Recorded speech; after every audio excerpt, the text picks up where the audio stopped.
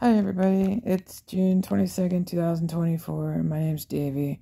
And if you've been following me, um, you'll know that I'm coming up on five years of hormone replacement therapy. And um, truly, five years that I've been out to the rest of the world besides my family.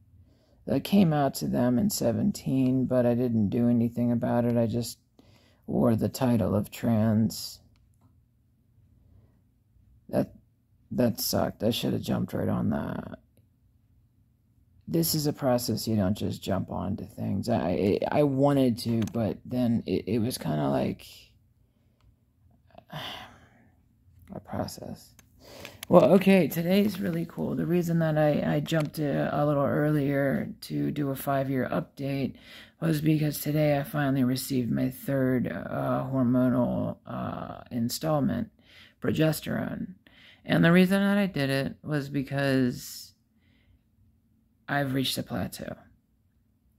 Um, when it comes to physical plateaus, I know that the way to get through them is either to work out, which I am doing, um, or if you are already working out, like I said, then some sort of supplementary exogenous source of help uh, is needed.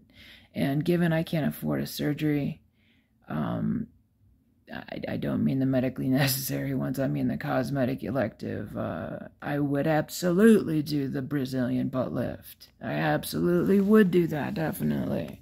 Having witnessed what I've witnessed uh, with a couple others, I definitely would. But the thing is, watching the procedure being done on YouTube, I, I, I got really, um, you really got to make sure that doctor knows what the hell they're doing.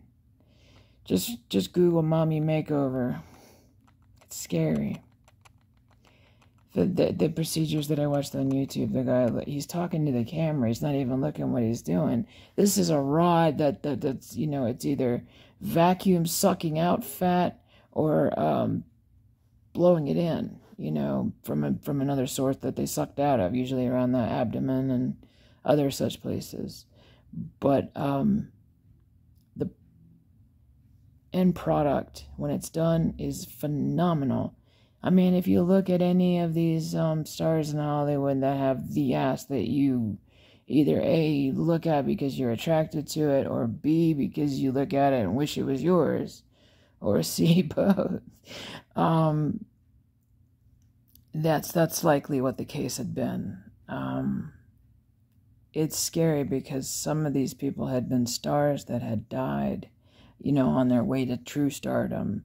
So I keep in mind the statistics and I keep in mind these things.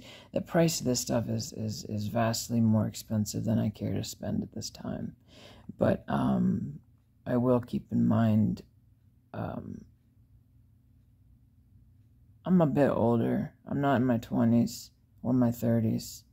I have to uh, consider that. So I'd rather spend the money on something more worthwhile than. God, I'd love to have my cake and eat it too, I'm telling you.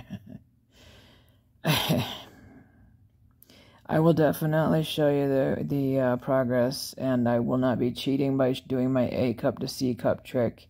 I'm willing to believe that the A cup will go to C cup without having to actually go through such, you know, drastic measures as bombshell bras or tight fitting shirts with uh, a bombshell bra underneath it so that the cleavage is made to go no matter what you know form there. So i am willing to believe that it's going to work.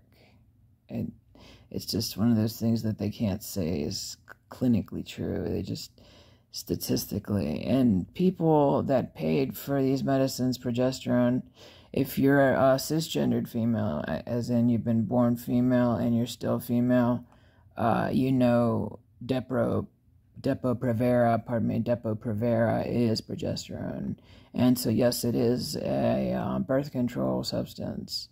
Um, but given that I don't have those con- those parts and uh,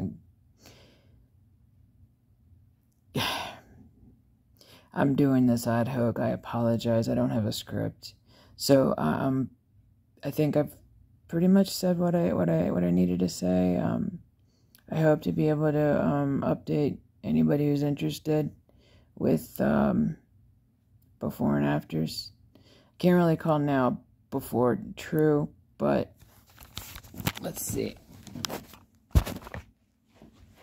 This that billing is before. So, I mean, my side profile is not too bad, but I am not showing you the back profile because when I saw that, you'll understand why I was thinking about a BBL. There's a there's a thin line between vanity and dysphoria with me. So I have to ask myself if I'm being seen as a woman, that's all that I need. If if I'm being seen as a woman and it's not enough, then I need to check myself. But um, back there, it looks to me like a freaking man in a dress, and it pisses me off. So, all right, I'm out. Love you all. Cheers.